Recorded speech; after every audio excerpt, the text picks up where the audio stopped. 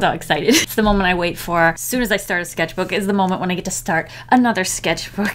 Let's get this open, opening it for the first time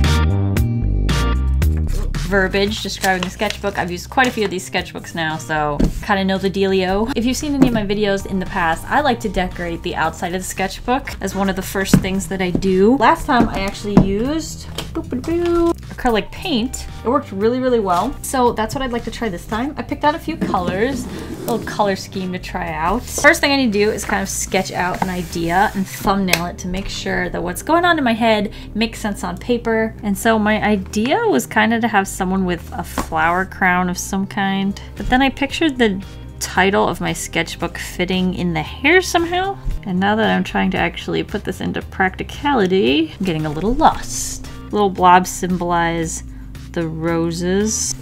And then this is where I would write sketch 23. Oh my gosh. I was really happy with the last one I did and all I did was put letters on there and I thought it looked pretty cool but I kind of like to try and draw a character on this one. I was practicing drawing roses the other day, and none of these are really gelling with me. Let me try something else. I just had a random visualization. So if like there's a head on the bottom half of the paper, or the cover, oh, you couldn't even see what was going on.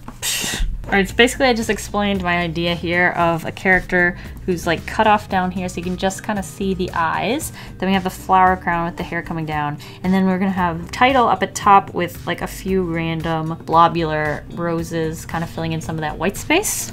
I'm thinking I might actually want to include most of the face. So if I like bring this square here more, I kind of like the idea of the hair being kind of blobular like the roses I plan on drawing. Maybe if they like imitate the shapes of the roses. Now I can't decide if I want the flower crown to go around like this or be more like actually on the crown of her head. Ooh, and then I can take these like little flowery things and go all the way around the outside of the sketchbook along the back and then incorporate the design throughout the whole thing. That'd be really fun. Not sure why this is the idea that's coming into my head. I hardly ever draw flowers. but I should take inspiration when it strikes. I've learned my lesson. Could move the sketchbook so it's like almost coming out of the head a little bit more. Then it's like overlapping the character design a little bit. Why don't I try and use some of the paints and see where I'd like those to go. Ooh, I love that color. First, maybe for hair. We're just trying to experiment with the color scheme, see what looks good where before we start working on a canvas where erasing is not really a possibility. So when I'm sketching, I really like to be loose and messy because you never know what will show you something that you like better than what you were going with in the first place. So I'm just using like this big brush, blotching it down, trying things. This is actually a nail art brush that I never used for nails, so I'm just repurposing it so that it can get a little love. Try and make sure we're not creating any tangents with the edge of this hair. Make it kind of blobular like the flowers, maybe. I might grab a purple. Let me see if I have purple paint to add shading in here without being too harsh. I say as I walk away. I've got Purple Pizzazz and Royal Fuchsia. Mix it with our primary red. Oh, there's enough like hue change though where I think that's making a difference. Add it underneath the crown like it's a shadow. Kind of looks a little bloody and gory there, but it's not. Just trying to figure it out if I add my eyebrows back in. And if I use like black for the eyelashes instead of that red, that might help too. It looks a little too sad for my liking. Oh, now she looks like she's coming after you. hmm.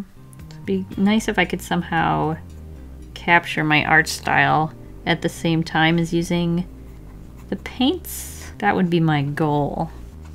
I can also, at the last minute, use like a fine point Posca pen and add like line art of some kind.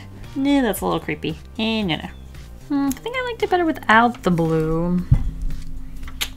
But I do like it with like the dark purple. So I'll make sure that I mix that dark blue with the primary red and then I think we should be good to go for that. I just don't like how much control I have with a brush. I cannot do it.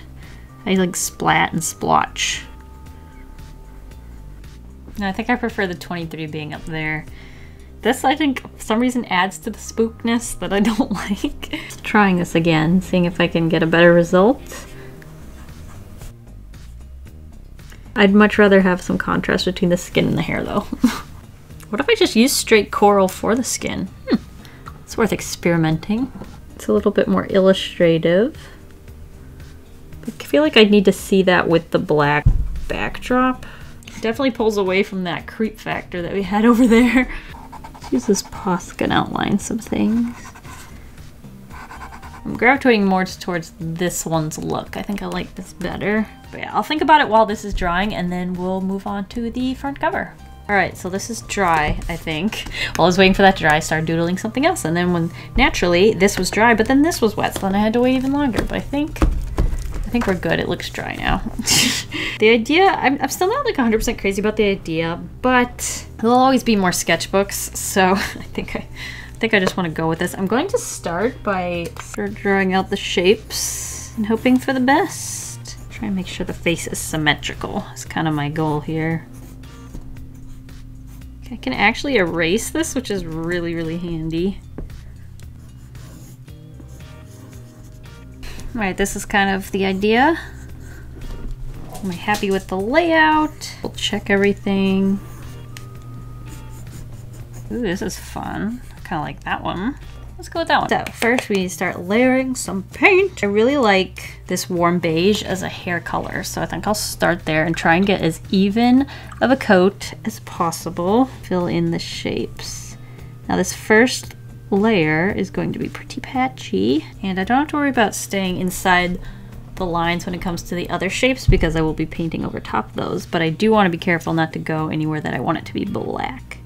Could probably add the first layers of the roses as well. They're not gonna look like much in those first blotches, but it's still an important step. Sometimes I get a little uh, overwhelmed by how bad things have to look before they can look good. And I think that's a good lesson just in art in general, that you have to start somewhere to be able to get further on down the road. So I'm kind of working on the face now. Kind of trying to focus any gradients on here so that it's not completely that coral color. I love the coral color, but I'm just not ready to commit. Adding a little bit more coral to the mixture when I get closer to the hair so that there's that contrast. It's nice that this stuff dries pretty fast. My kind of medium. Markers and acrylic. this might actually turn out pretty good if I stick with it. Whew, it's not there yet. Working on it. I'm wondering if I should just leave that black from the sketchbook for the eyelashes kind of digging it. Just try to get some details. I'm still using the big fat brush, so I haven't like moved into detail mode, but I'm trying to like put blotches where I think they make sense. Add a little bit of shading under some of these roses while I have this purple on my paintbrush. It's very lightly because I went a little overboard with the thumbnail when it came to shading. Let's make this look a little bit more like hair, maybe. Add some strands. Oh, I'd love to put one like right here when that's dry. Let's switch to this more fine point brush. Grab some of the red. Go right above the eyelashes. Add a little bit of redness. Kind of mix it with the coral a little. Oh, I didn't do lips. I think I want to make the lips straight red at first at least. Just fill those in. Same way I'm filling in the roses. One layer at a time. Maybe paint over some of that purpley blue bits. I think it's just, it's not quite the right color. It doesn't fit into the color scheme. I wish I could go back and shrink the scalp area. A little too much volume. If I can like, yeah, make it look like a rose. Like these are some petals. I should have used a smaller brush for this.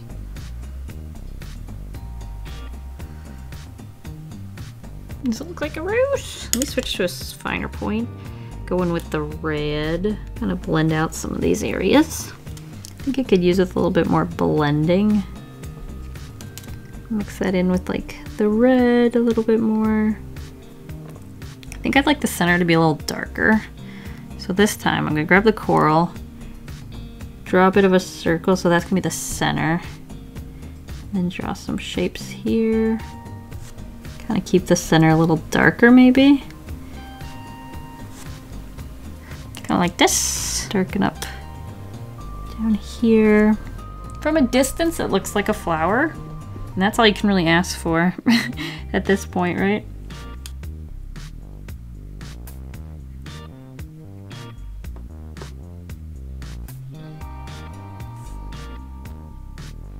actually kind of digging the like abstractness and yet more detailed than any other flower I've ever drawn kind of aspect of it. You guys were so nice to me the last time I was drawing roses, so I've kind of built up a little self-confidence with the way they look. So thanks for that. kind of like learning to love it. Oh, I think this one's my favorite so far. I just like the shape of it. Mm -hmm. And just slowly figuring out what a flower looks like. Or a rose in particular. Okay, from that knowledge, I kind of want to go back to this one. See if I can improve. So a lot of these like sort of squiggles. That's every drawing though, isn't it? That's not that helpful. Hey, mix it in with a little bit more red here. Could I explain how to do what I'm doing right now? No, but it's a start. I think it's all about like making these shapes that just slightly interlock. And then you get kind of like a rose. Mm -hmm. This just got me 10 times more excited to finish this. yeah, bingo. Just adding some shading to the hair now. Without going too overboard, hopefully. Flowers are my favorite part so far. And then, yeah, I think the next step would probably be to let it dry. But I just can't stop touching it. What's wrong with me? Well, all right, it's dry now. I might have played with it a little bit more. I don't remember what it looked like last time we talked. But I want to do next is go over with my Posca pen. and add details where I know it needs them.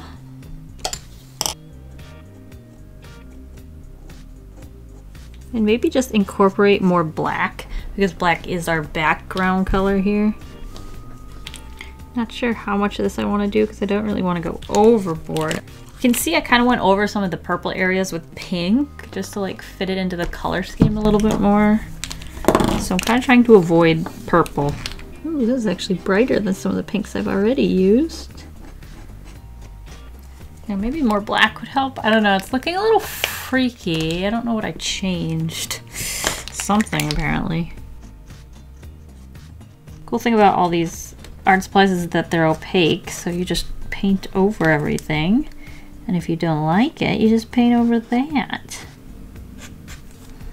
You can use this red, which is slightly different than the ones in the roses, to add a little bit of extra texture. Now I'm not going over and like outlining every single section of the roses. I'm trying to keep it a little bit subtle. Sleeping Beauty has that funny little like cinnamon roll on her hair. And I did it because it made me think of roses was kind of the thing I was thinking about. And like Sleeping Beauty is called Briar Rose. So I wonder if like the same thought process went through some like very old Disney character design artist. Whoa! It's like I'm have this small, tiny thread of connection with them. I wonder if I can add like a shadow right here. It kind of follows this curve. Or wait, maybe it should have been shadow down here. Wait, wait, wait, wait. Darken up this bottom edge of the bangs and then lighten up the top half of it. The top of the head a little bit more and it's like bending over. It's kind of what I'm looking for. That kind of helps a little lighten up here maybe. I'm changing it up a little bit, but I am trying to trace it too because my sketch kind of worked pretty well. Oh, I love that. I kind of just attempted to write sketchbook right there. Oof. No, stick to the plan, stick to the plan. All right, there's our first go, first little pass at the letters. Now you can see these are, are definitely blending in, so we're gonna need to add a little bit of effects to that. Still not prominent enough, I don't think. I might like to layer it up, like thicken the letters. But also, part of me, let's see, clean this brush, wants to just use a brush and write some of the letters in the hair color. But the hair also intersects up there, so that might not be a great idea. Hmm, ponder.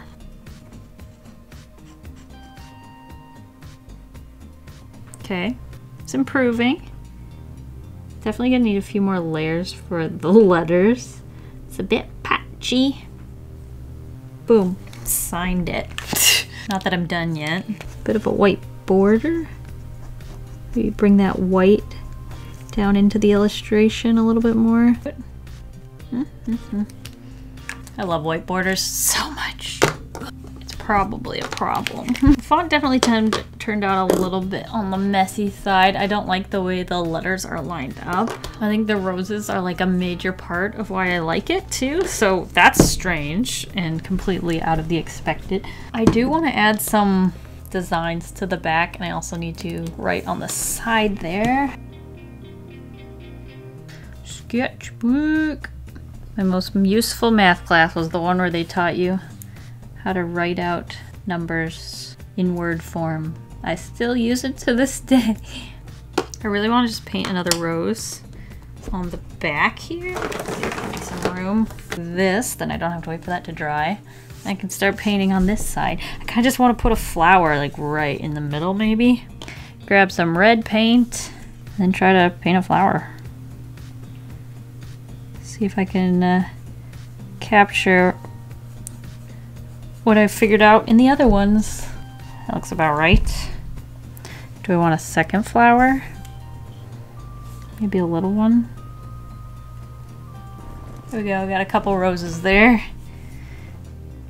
Build up some of the color slowly. Add a little bit of the coral where I want it to pop a little more. Add some extra petals here. I think it needs a couple more. Not bad, kind of like that one. I like the way the acrylics blend together. If you get them when they're still dry. Might be getting a hang of this roses thing. See what happens when you put in a little time and effort and practice and maybe a little acrylic magic. Okay, that's pretty cool. So like I added a layer of the coral when the red was still wet. And now that it's all dry, I'm going over with another layer of coral. And it looks like a completely different color because it's not blending in. I'm learning so much. and then maybe I'll grab a Posca pen and add some of these flower, or these little hearts. Wait for that to dry and then I want to add some black line art to it so that it matches these flowers. And then I might just be done. Ooh, I've been spending so much time on this, I'm not ready to say goodbye. Going a little overboard with the blacks. I'm just going over it again with some coral. Kind of black out some of the ones that are not necessary. Like, cause some of them, there's enough contrast between the light coral and that darker red that it's not necessary. I normally, in these videos, also draw on the first page. Quite dry. But I usually draw also on the first page, so like this guy right here. But I just spent like all day on this. and I wouldn't want to like rush something for the next page. So maybe I'll film that and post it separately so I can spend like a whole day's worth of effort on it. But here's what I came up with. I'm really happy with this. That's like the most time I've ever put on an acrylic painting. Yes. I like the texture. I like touching it. You go to the museum and you just want to touch the art and they're like, no, no, no, don't even go within 12 inches. But when it's mine, just rub my face on it. and then there's the back with the three random roses that are just there for no reason because I really wanted to paint them. I guess that is a reason. There's the front again, sketchbook 23, as well as the side. And the, like the words kind of like covered my least favorite part about the art, which was the really large scalp. I know what I think. I think I want to make like a huge acrylic painting because that was too much fun. I just want to blob and smush, you know? Thank you guys for watching. Um, I'm excited to start drawing in this sketchbook. Well, I guess I did draw on it. We have these, but I'm excited to fill the blank pages. I thank you guys for watching. I'll see you guys all next week, and I hope you have a delicious evening full of waffles. Bye!